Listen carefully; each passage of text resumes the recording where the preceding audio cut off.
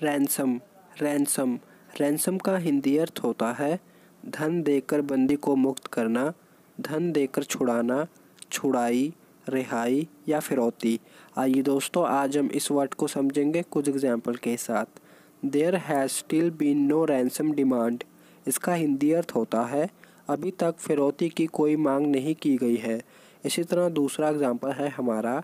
He was release on payment of the ransom इसका हिंदी अर्थ होता है, उसे फिरौती के भुगतान पर रिहा किया गया था। इसी तरह तीसरा और आखिरी एग्ज़ाम्पल है हमारा। They are refusing to pay ransom for her release इसका हिंदी अर्थ होता है, वे उसकी रिहाई के लिए फिरौती देने से इनकार कर रहे हैं। तो दोस्तों, उम्मीद करता हूँ इन एग्ज़ाम्पल के माध्यम से रैंसम का हिंदी अर्थ काफ़ी अच्छे समझ गए होंगे।